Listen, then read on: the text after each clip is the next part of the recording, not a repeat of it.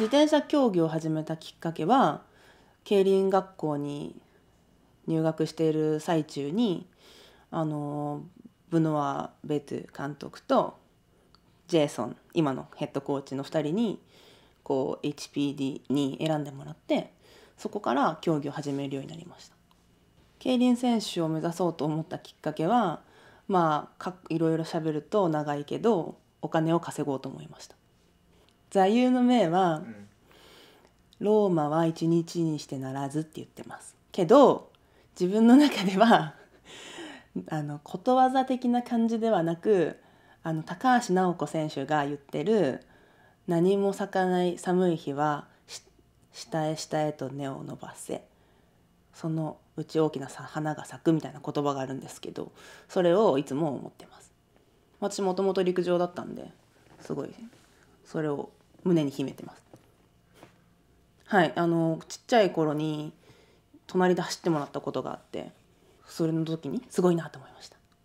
その時は目指してましたよ。あのオリンピックでマラソンに出るって信じてたんで。自分は。ジビリンピックっていうなんかちびっ子が小学生が出る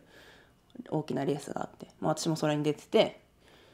3位か2位ぐらいを走ってる時に自分が横を高橋選手が一緒に走ってくれたんですよね。うん自覚はなかったんですけど最近こう若い子たち子供たちから中学生高校生とかからこう結構応援してるよとか頑張ってくださいっていう声をもらう機会がすごく多くなってなんかあとは私のことに憧れて競輪選手になりましたって言ってるくれてる子も最近聞くようになったしなんかそういうことが増えてきてちょっとずつ自覚が湧いてるかなって感じです。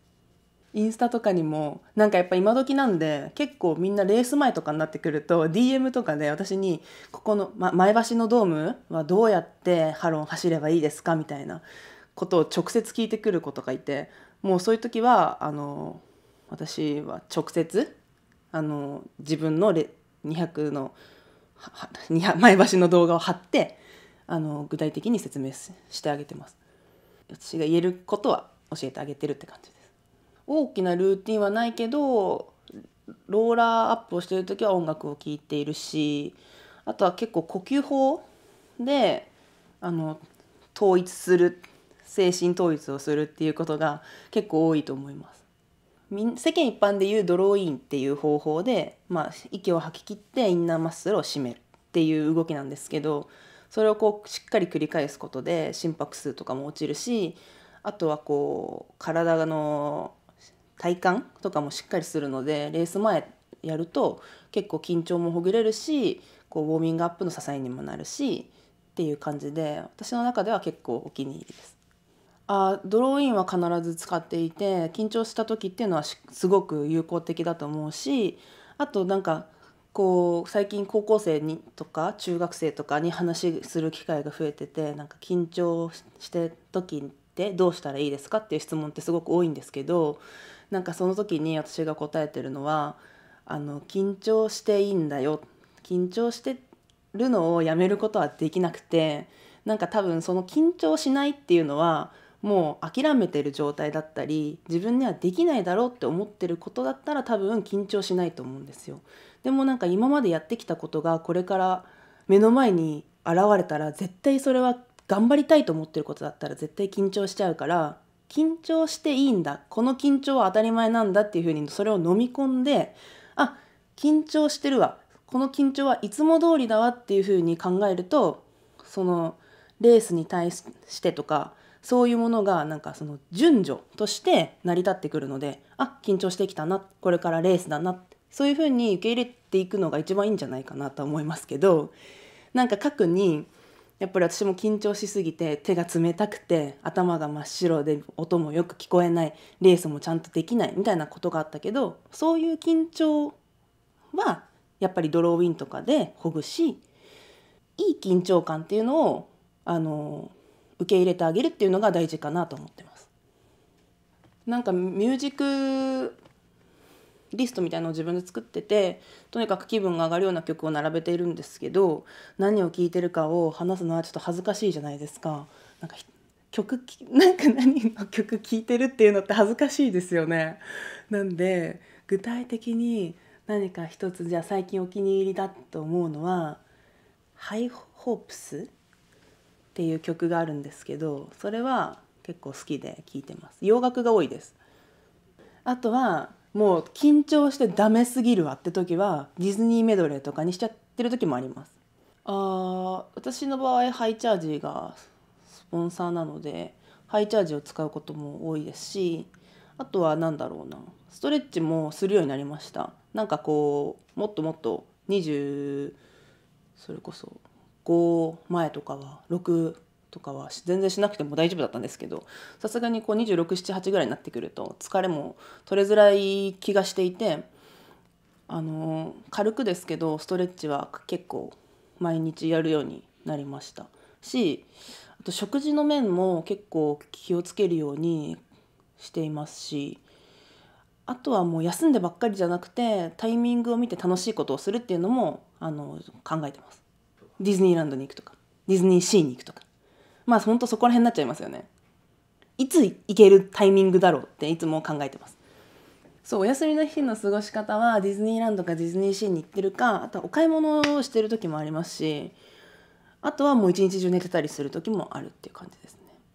なんかお気に入りのお買い物方法はクレジットカードでお買い物をするんじゃなくてこれ高校生に言ってるんであれですけど現金をバスって持ってそれを全部使い切るっていうのも結構好きです日々明るいんで人々にはバレないですけどもやっぱりちょっとストレスを抱えやすい傾向はあると思っているので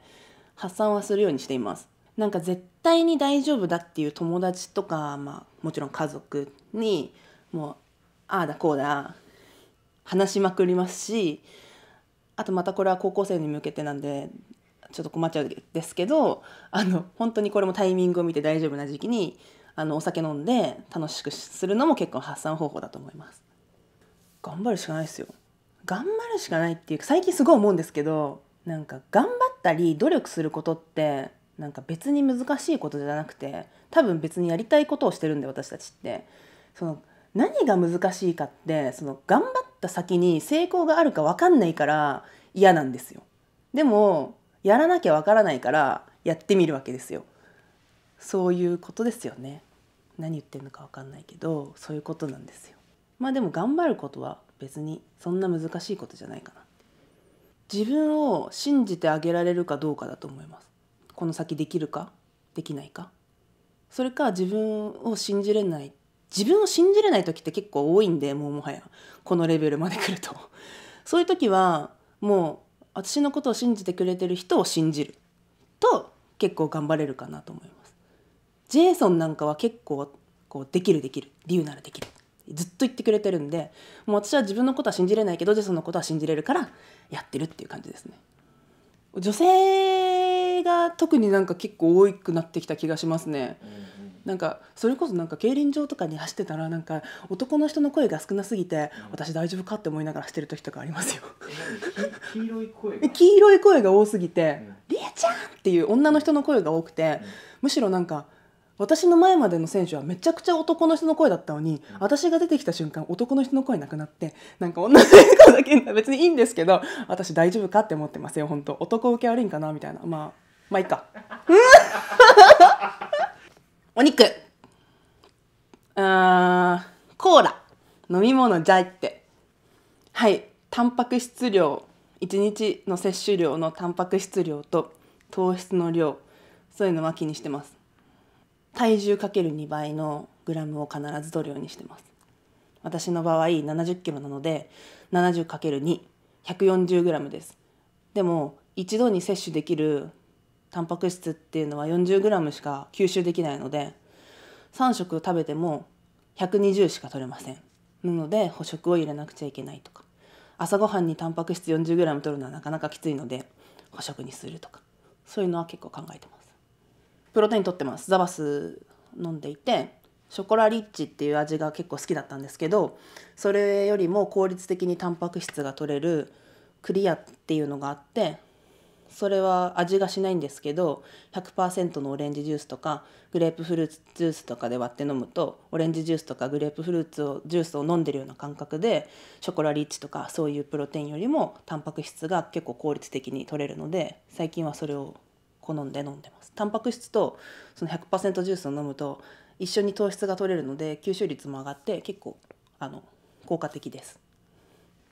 あースポーツ科の学校だ普通科だった普通稲学園総合高等学校普通科スポーツ科学系っていう学系にいたんですけどみんながこうショートカット、えースポーツ熱心っていう中で私はちょっとこうお化粧をしてみたり頭にリボンをつけてみたり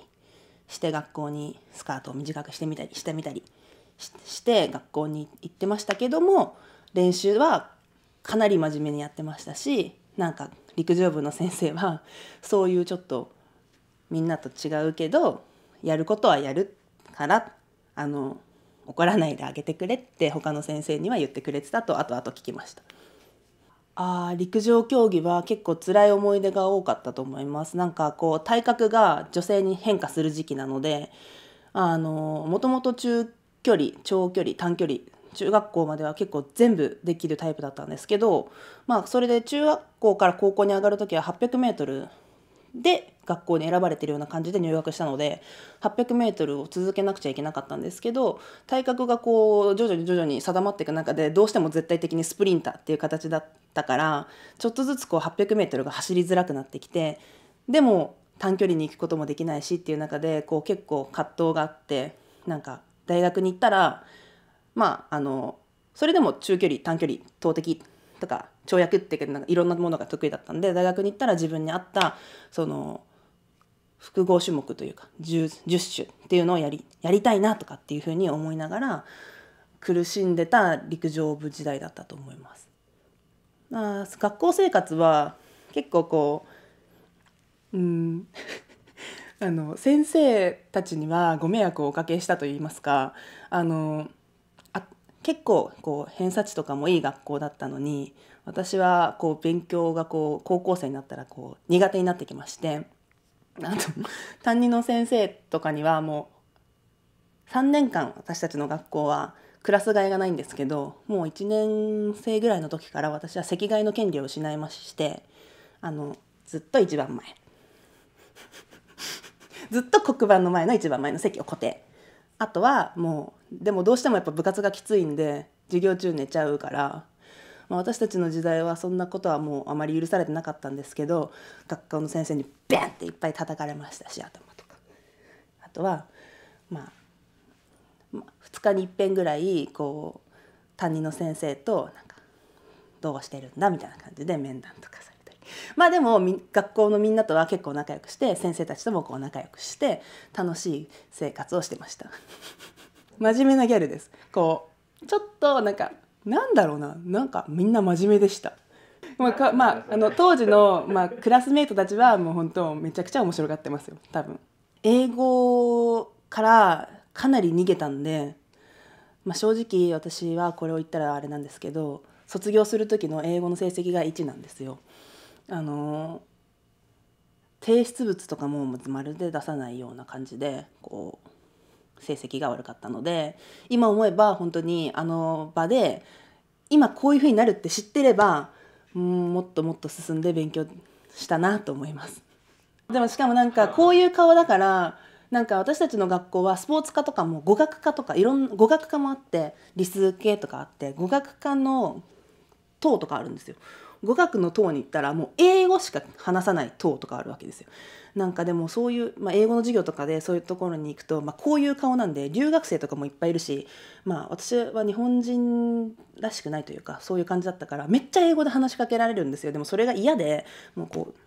話しかけないでっていう感じにしちゃったのはマジでもったいなかったなと思いますね。